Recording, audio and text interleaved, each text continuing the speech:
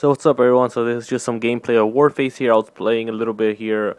I just, I knew about the game a long time ago, but I think it was like in closed beta or something, so then I forgot about it. That's how a lot of these free-to-play games are. always starts as closed beta, but now it's open beta. Well, I knew it was like a long time ago, but like I, I finally got the chance to play because, and I had an older computer and it sucked. But this one was good enough to play the game, and I'm surprised it did because it was um game by Crytek. Well, not by Crytek, but uses the engine and you know like you know from the Crysis games really good graphics there. So basically, this um, I won't be playing this that much.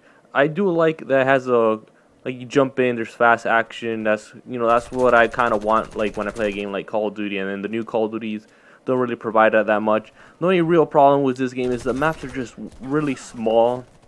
Like they're good for like um 4 4v4 those type of things. But like sometimes you'll get like 16 20 people in the same free-for-all match in, the, in this like really tiny map.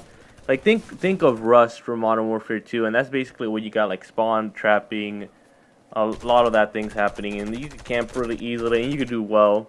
But i do like the sliding mechanic. It's really cool. You can shoot and slide. It's really cool. Um, snipers are really fun.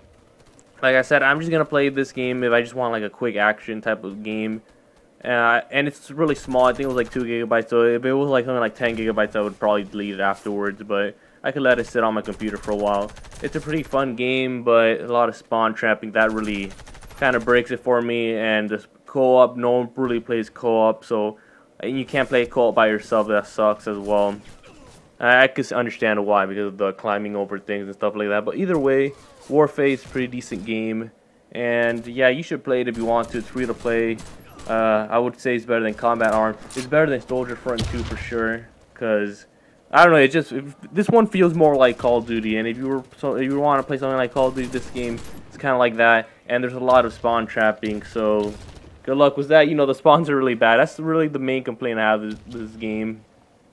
And the small maps. And there's only like four or five maps, and this game's been out for a while. And that, that's what I think. I always see like the same maps, and there's only like four of them. But yeah, that's all I have to say. You know, pretty short, pretty quick. I have to say uh, stuff about the game. Anyways, thanks for watching and peace.